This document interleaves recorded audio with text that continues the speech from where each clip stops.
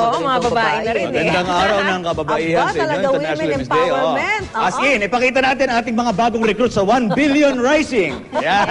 Yes. Oo, talaga Ito ang pati- ating mga kababayan dito sa, tayo sa may, uh, Quezon City, no? Papakilala namin sa ano, ano mga trabaho nila. Si, si Ma'am Nika, isang ah, rescue sa fire, ah, fire B- BFP, no? Yes po. Oh, tanungin kita, anong ah, naghimok sa'yo para magtrabaho bilang ah, kasama sa mga bombero? Ah, actually kasi yung father ko kasi is Hmm. bumbero din. Mhm. So, na-impluwensyahan niya ako para makatulong dun sa mga nangangailangan. Hindi naman bombera ang tawag sa bombera. Ano, Hindi naman. Ano, ano kagandahan o ka- ka-advantage ng ah, pagiging ah, babaeng ah, bum- sa bombero?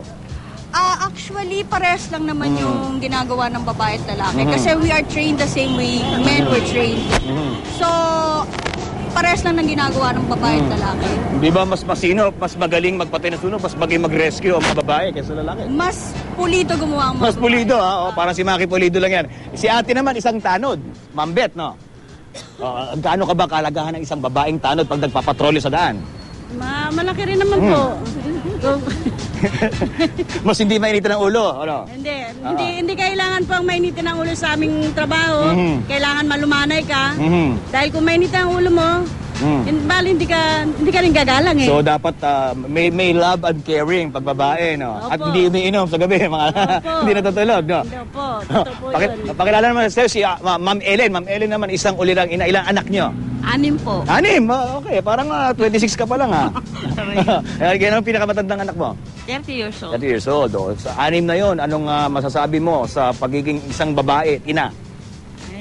Eh, malaki responsibilidad po namin Mm. sa anak namin sa Mhm. kung tutuusin.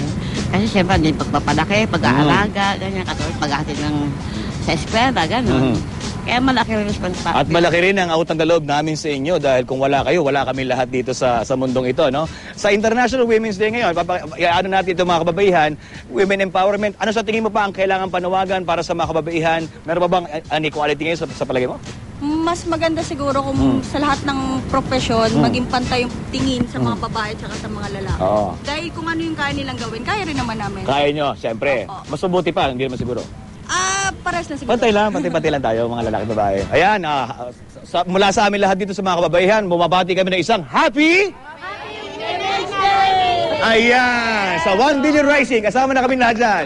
Balik sa inyo dyan. Maraming salamat, Michael. Ayan.